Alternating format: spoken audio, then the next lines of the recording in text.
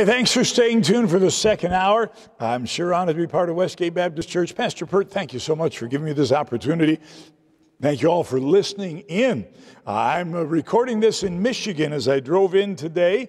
Uh, the, the, temperature was 37 degrees. I bet it's a little better in Tampa than it is in uh, Michigan right now. But you know, if you go out and work, it's not too bad. Uh, I live on 10 acres, and so in addition to working on sermons and preaching on live stream and actually even got to lead some people to Christ uh, a couple of Wednesday nights ago at our church parking lot. That's an interesting story. But in addition to that, I've been cutting down the trees that are fallen and clearing out the woods and building ramps for my shed and all kinds of exciting stuff. So I, am not I'm not too bad with 37, but I I do envy you a little bit the ability to sit out in the sunshine. Maybe some of you at a place you can still play shuffleboard and uh, got the great views. Thank you so much. I look forward to being with you I think sometime this fall, God willing, and hopefully we'll be back to more normal by then. Why don't you open your Bibles to the book of Job in chapter 31. Uh, because the preacher asked me to talk about the King James Bible in the last hour, I felt impressed of the Lord to go to this sermon for this hour. Now, uh, we talked about how we know we have the Word of God and how much clearer and more biblical our position is than that of our opponents, and how confused and, and how much the Bible is a work in progress and never really finalized. But did you know that if you have the right Bible and don't read it, it doesn't do you any good? If you have the right Bible and don't know what it says, it doesn't do you any good. I want you to look at the life of Job. Job was the best, most godly person in his era. God said that. Have you considered my servant Job? He's an upright man. There's none like him in all the earth. The devil came to God one day and he criticized Job. He said, Well, of course, Job serves you. Look at all you've given him. Man, he's got everything. You put a hedge around him and nothing affects him. Why, you take away all that stuff and he'll curse you to your face. God took the devil's challenge. He said, Go ahead, just don't touch his body. And in one day, Job lost all of his possessions and all of his family except his wife. Job's response was fabulous. Naked came I out of my mother's womb. Naked shall I return thither. The Lord hath given, the Lord hath taken away. Blessed be the name of the Lord. Wow. But the devil changed the rules. Uh, evil people always want to change the rules in the middle of the game. Because their intent is not to find truth, but to win a victory. And uh, the devil said, Well, uh, yeah, but skin for skin, all that a man has will he give for his life. You hurt his body now, and then he'll curse you. And God said, Go ahead. Just don't take his life. Job stricken with a terrible and painful disease. We think the disease of elephantiasis. Boils, boils break out over his body. He goes to the ashes outside the city where they burn refuse, and he sits in those warm ashes and scrapes himself with a piece of pottery to try to get some relief. His friends come Bildad, Zophar, Eliphaz. They do really well at first. They just sit there with him for seven days. Hey, that's a good idea. Don't feel like when somebody's in trouble, you have to always explain it to them. They Don't get real spiritual. Sometimes we try to get more spiritual than we are, and we wind up saying stupid stuff. If you don't know what to say, don't say anything. Just love them, just be there.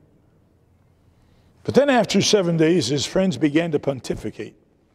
Now, Job, I've been around a little while. I've seen how God operates, and I want you to know that He's never put anybody through what you've been through unless there's some sin in their life. Job, you get the sin right, and you'll get all this trouble past you. And Job said, No, I'm sure not perfect, but I believe I've lived an upright life. I believe I've been godly. That's what God said about him. Here are people who have to be less godly than Job because Job was the most godly in his era. And they're criticizing Job for being ungodly because trouble has come into his life. Oh, be careful about that. Don't assume every difficulty in life is the judgment of God. Did you know some things are just part of life? He makes his rain to fall on the just and the unjust, makes his sun shine on the evil and on the good. And Job defends himself. And as the book goes on, Job's speeches get longer and his defense gets more vigorous. And, and Job does have a problem.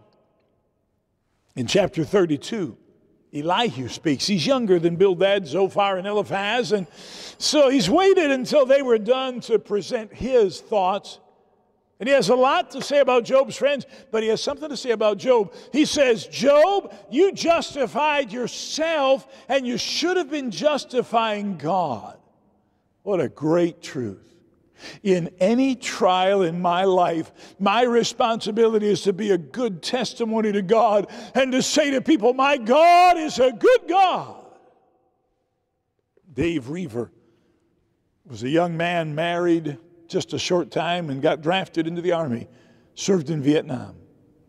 He was a Christian, tried to be a witness and a testimony. His friends made fun of him. They called him preacher and uh, evangelist and missionary, and he gave as good as he got. He called those three friends pervert number one and pervert number two and pervert number three. One day in the jungles of Vietnam, he's holding a phosphorus grenade. They used it to clear out swampy areas, and the grenade exploded in his hand. All the fingers on this hand blown off, all but two fingers on that hand blown off, his ear blown off, his nose blown off. His body covered in flame, and Dave Roever, before he jumps into the swamp to get relief from that fire that covers his body, cried out, God, I still love you. He got right the one thing Job got wrong. Our text, Job 31, finds us almost at the end of Job's speeches. We're going to look at verses 35 and 6, and he stops speaking in verse 40. And here's what he says Oh, that one would hear me. Job 31, 35. Behold, my desire is that the Almighty would answer me and that mine adversary, and by that he meant God. Job had no idea of the devil's involvement in his trials. All of his words were addressed to God, not to the devil. Oh, that one would hear me, and behold, my desire is that the Almighty would answer me, and that mine adversary had written a book. Surely I would take it upon my shoulder and bind it as a crown to me. I want to talk to you about this thought. If only God had written a book. Lord, I thank you that you love us. I thank you that you're with us. I thank you in these difficult times in our nation and in our world, you know the end from the beginning. Lord, uh, maybe you're going to try us and we'll come forth as gold. Maybe you're going to purchase so we bring forth more fruit. Maybe you're going to uh, teach us to find more ways to get out the gospel than we've been using before. Maybe connections we've made and, and concepts that we've employed will help us to reach people long after this crisis is all gone. I don't know. It seems like maybe those things are true. I sure know you know. And we trust you. And help us now. Lord, empower me and direct me by your Spirit. Make me a blessing. Help me to say the things that would please you. In Jesus' name, amen. Job had a dilemma. Life wasn't making sense. He just couldn't understand it. A part of Job's dilemma was what's my purpose?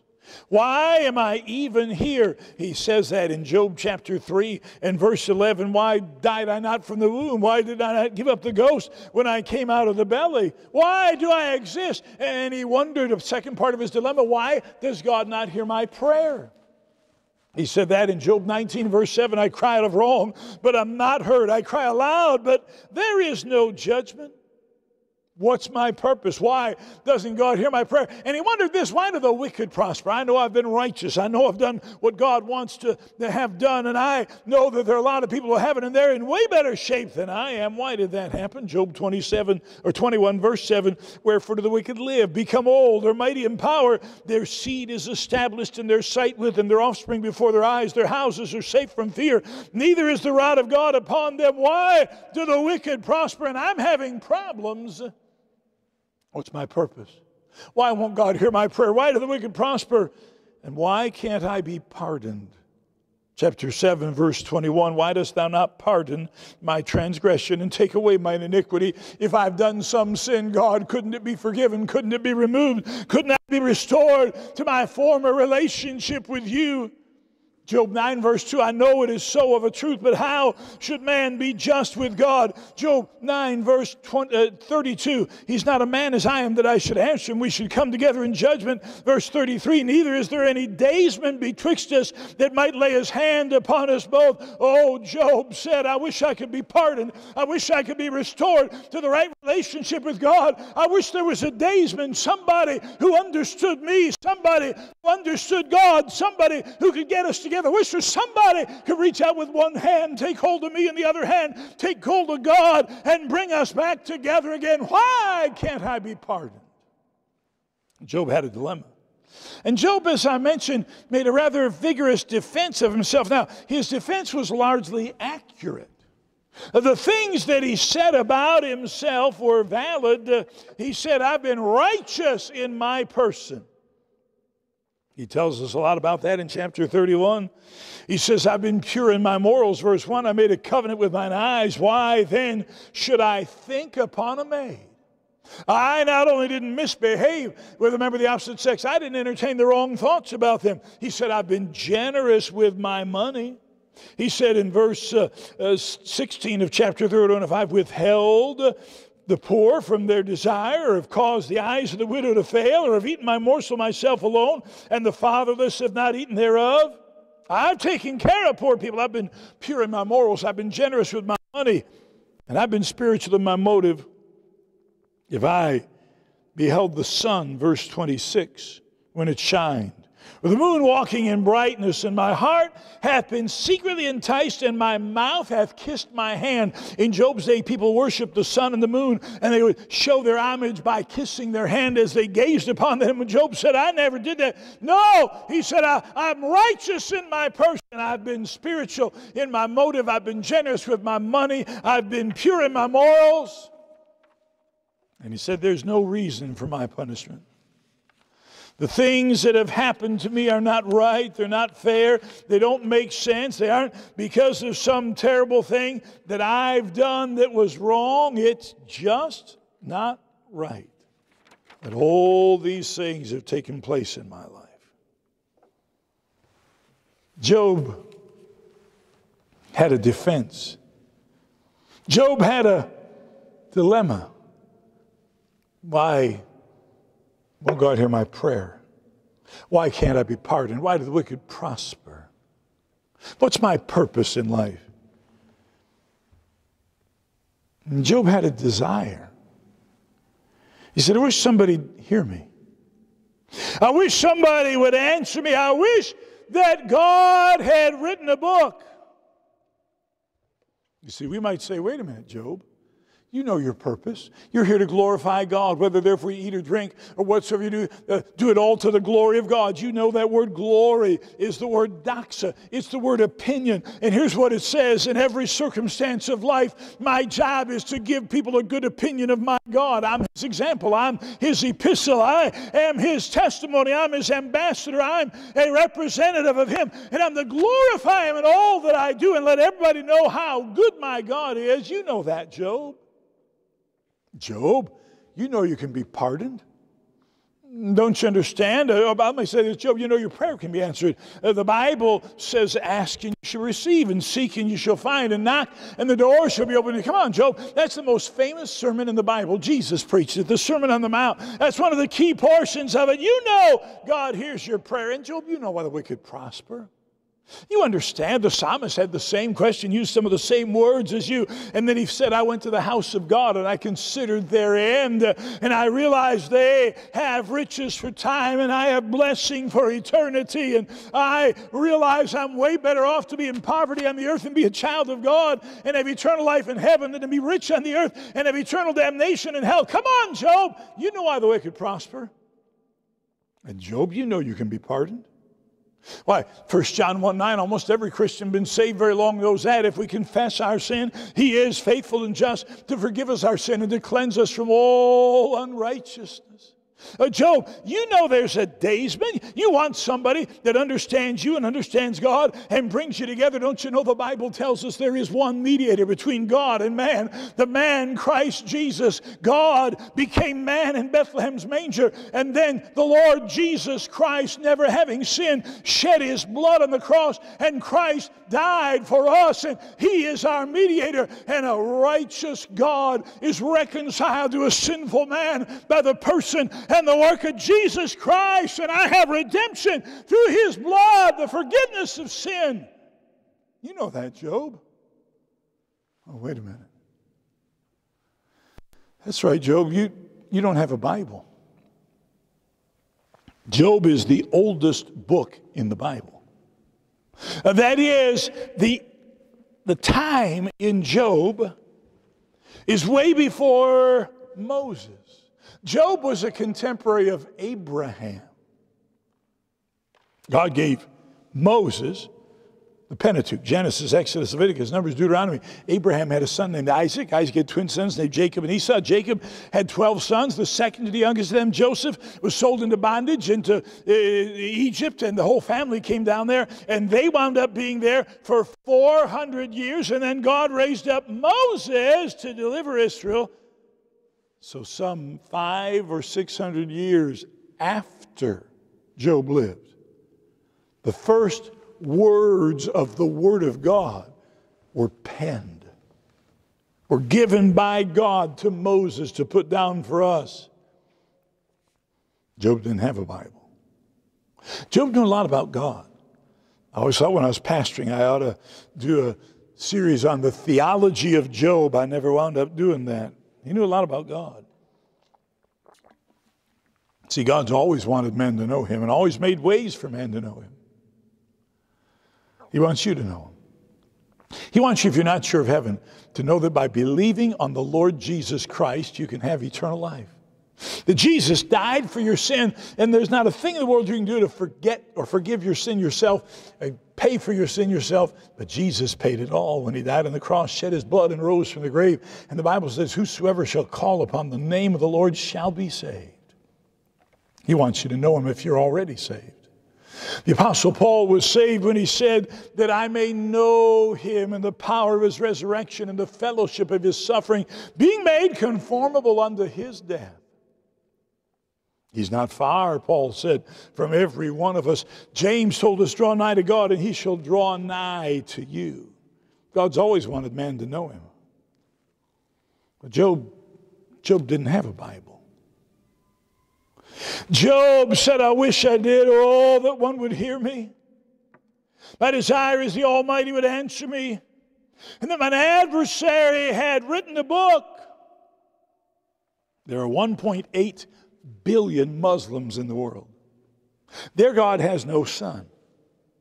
Their God believes that uh, you should blow yourself up and kill others who don't believe in Him. The president of the Southern Baptist Convention said a few years ago that Christians and Muslims worship the same God. That is offensive to both, both faiths. It's an insult.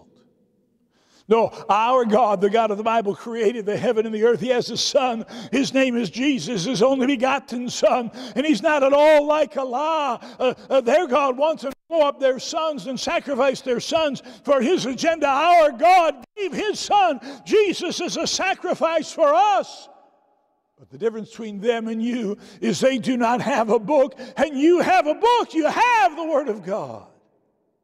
At one are 1.2 billion Roman Catholics in the world. They believe that man can never be sure he's going to go to heaven when he dies. You have to go to purgatory for a little bit. I called several Roman Catholic priests years ago and said, I'm, I'm doing a little survey. I want to know how can I be sure I'm going to go to heaven when I die? None of them could tell me. They believe Mary is a co redemptress along with the Lord Jesus. They believe you can get to Jesus by going through Mary. They discourage their people from reading the Bible for themselves. They believe it has to be interpreted by the authority of the church, and the difference between those 1.2 billion Roman Catholics and you is they don't have a book and you have a book. There are 1.1 billion Hindus in the world. They think that you are reincarnated from one life form into another, and if you do well in one life form, you get to go to a better life form. When I was in India years ago, there were 750 million people in a country two thirds the size geographically of the United States. There were more rats than people, and the rats ate over half of the grain harvest. But they wouldn't kill the rats because it might be grandma. Hindus have millions of gods. No Hindu could tell you the names of all of their gods. And Hindus believe that if you do real well in one level of life to the next, to the next, to the next, you can eventually achieve an exalted state called nirvana. Nirvana is a state of nothingness. You know nothing, you feel nothing, you see nothing, you hear nothing, uh, you can touch nothing. You see, they believe this life is such a miserable mess that the best thing in the world would be if you could just not be aware of anything and have a total emptiness of existence. And the difference between them and you is they don't have a book and you have a book. Praise God, we have a book, the Word of God. Job's desire. If only God had written a book. What would you do with it, Job? Well, I believe our text at least strongly implies that it would be his authority. Boy, I could answer the foolish and fallacious philosophy of my friends if I had a book from God. You know, I'm glad we have a Bible as our authority. You know, you ought to follow your pastor. He's a good man and he's a wise man and he'll give you good counsel. But the reason you do that is not because he's a good man or not because he's a wise man or not because he can give you good counsel, because the Bible says, obey them that have the rule over you and watch for your soul. Submit yourselves uh, as the, they watch your souls as those that must give an account. Uh, I, am glad that I have an authority in the Word of God. I, I, know that there's one way to heaven because the Bible tells me Jesus is the way, the truth, and the life. No man comes unto the Father but by Him. Neither is there salvation in any other. There's none other name under heaven given among men whereby we must be saved. I know I should belong to a local, visible assembly. And when I'm able, I must come together again with the church family. What a blessing and what a day that will be. I find that in the Word of God. The Bible is my authority. I don't have to listen to what somebody said, I've got it in the Bible. Years ago, somebody asked me my position on an issue as a Calvinist. I told him what I believed, and he said, Well, do you know that what you believe disagrees with the Westminster Confession of Faith? To which I, as a very young man, responded, So? Apparently, the Westminster Confession of Faith disagrees with the Bible. I'm a Baptist. Baptists are not creedal people. Uh, we are not those who are bound to some statement of faith. We may have a statement of faith to let people know what we believe, but it all comes from the Bible. The Bible is our authority. But not only that, Job said, if I had God's book, it'd not only be my authority, it'd be my answer. Oh, he said, I wish I had an answer from the Almighty. Did you know the Bible tells you everything you need to know about life? The Bible tells you what kind of a husband to be. The Bible tells you how to be a good wife. The Bible tells you how to raise your children. The Bible tells you how to obey and respond to your parents. The Bible tells you how to handle your money. The Bible tells you how to deal with your friends. The Bible tells you how to treat your enemies. The Bible tells you what to do when you're sad and what to do when you're happy. The Bible tells you how that you can face every situation in life. I have an answer. It's the Word of God. But not only that, Job said, if I had a book from God, it would be the object of my adoration. If mine adversary, if God had written a book, I wouldn't just throw it on the dresser when I got home. I wouldn't let it sit and collect dust. No, he said, if I had a book, surely I would take it upon my shoulder and bind it as a crown to me. What is your attitude toward the Word of God? I don't like to have anything on top of my Bible. I don't, I don't like to take notes in my Bible. I don't mind if you do. My writing's just so poor that I feel like I'm being sacrilegious. You've got a book. What do you do with it? Supposing I could uh, turn this into a Zoom conference call and I'm going to turn the volume on on you and I'm going to have each of you one at a time tell me how many days of the last seven you spent some time reading the Bible. Most of us have more time now than we normally do. Most of us could spend more time in the Word of God. Do you adore it? Do you love it? When I was a fairly young Christian, I got convicted that I should read the Bible through every year, and so I did, and that's, that's a really good starting place. And then I'm not sure why, maybe I think it was one New Year's Day, I was home and reading the Bible, and I thought, you know, I bet you could read the Bible through twice in a year. So I did that for a long time. yeah, I got in trouble. I was preaching on that at our church one time, and, and I said, I read the Bible twice a year. I read it one day in January, one day in July. I meant to say I read through it twice a year. Then I got impressed I should read it a little more, so I started reading the Old Testament every three months and the New Testament every two months. So six times a year I'd read the Old Testament, four times a year the New Testament. I was in Arizona in 2017. I was sick. I go back from the service and just go to bed. I didn't sleep the whole time, but I just lay down and I read the Bible. I thought, you know, I bet you I could read the Bible through in a month. And in July of 2017, I read the Bible through in a month. I've read it through every month since then.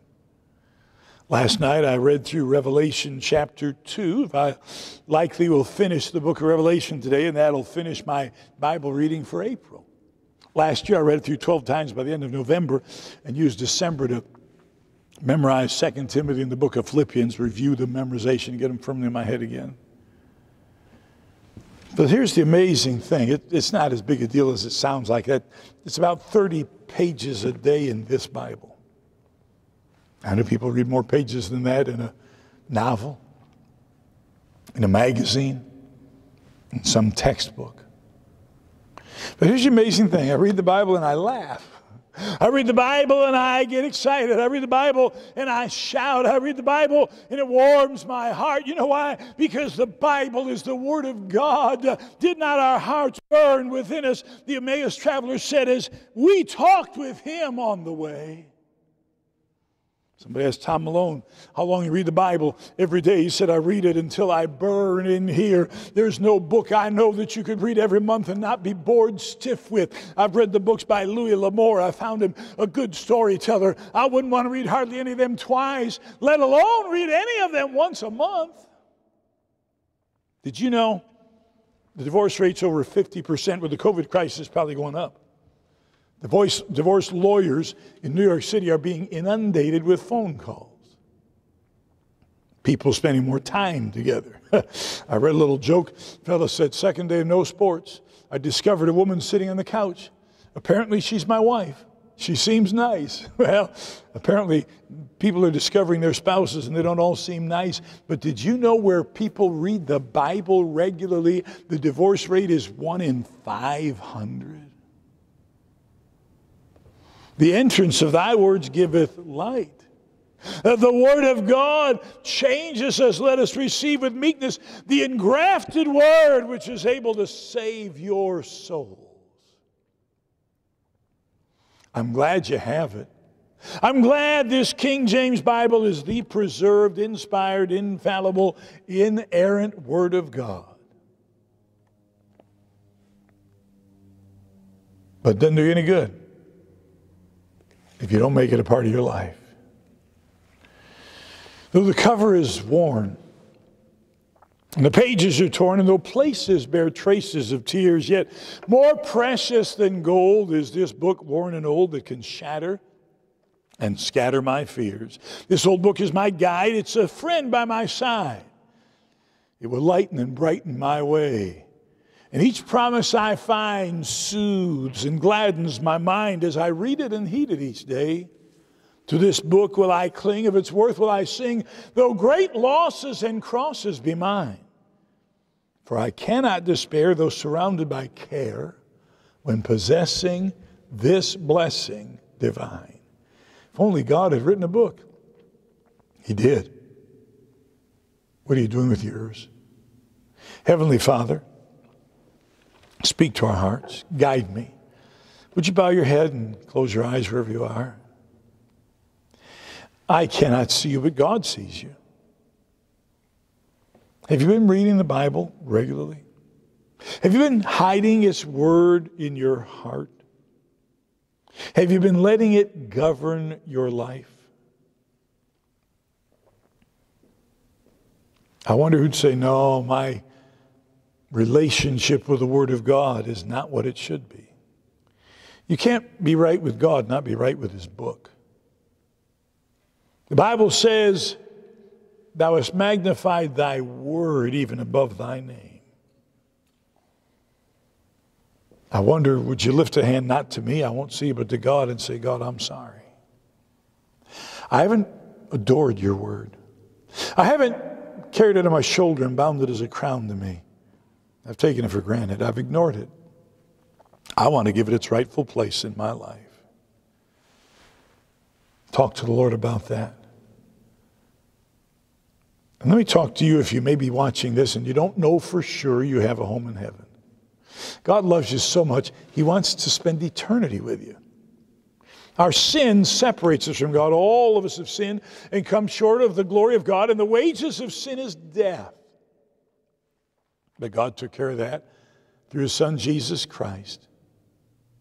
The Father sent the Son to be the Savior of the world. Christ died for our sins. Christ died for us. And that's why the Bible says in Romans 6:23 the wages of sin is death, but the gift of God is eternal life through Jesus Christ our Lord. God loves us. He sent Jesus to die for us. Jesus paid for all the sin of all the world when he bled and died on the cross and rose from the grave. And whosoever shall call upon the name of the Lord shall be saved from their sins, saved from death and hell. Would you be willing to trust Jesus today to save you? I'd like to help you in a prayer. Let me tell you what I'd ask you to pray. It's not that the words are magic. Saying the words doesn't mean anything, but meaning these words changes everything. I'd ask you to pray something like this Lord, I admit I'm a sinner. I don't deserve to go to heaven, but I believe you sent your Son, the Lord Jesus, to die on the cross for my sin. And I trust Jesus and Him alone to forgive my sin, to become my Savior, to take me to heaven when I die. Would you say that to the Lord? Pray with me, please. Pray this prayer. Lord, I admit I'm a sinner. Tell him that. He'll hear you. You can say it out loud. You can say it from your heart. I don't deserve to go to heaven. But I believe you sent your son, the Lord Jesus, to die on the cross for my sin, and I trust Jesus and him alone to forgive my sin, to become my Savior, and to take me to heaven when I die. Close your prayer by saying, Thank you for saving me, Lord. In Jesus' name, amen. If you prayed that prayer and asked Jesus to be your Savior, I would like to help you. I have a book I'd like to give you that will encourage you in your Christian life. If you'll write us at First Baptist Church of Bridgeport, that's a, a church where I'm still a member, church I pastored many years, and just send it to Box 249 Bridgeport, Michigan 48722. Say, I prayed that prayer. I want one of those books. I'll send it to you at my expense, pay for the postage. You won't have to pay anything. Or if you want to contact us through the website, our website at First Baptist Church is the number two, fbc.com. And then if you wanted to email us directly, it's office at the number two, fbc.com or if you'd like to call us on the phone, 989 777 0210. But do get in touch with us or get in touch with the good folks at Westgate Baptist Church if you have questions. They're probably closer to most of you. They can help and encourage you in your Christian life. Thank you again, Westgate Baptist. Thank you, Pastor Pert, for letting me be part of this wonderful evening together with you. God bless you, and I hope I'll see you soon.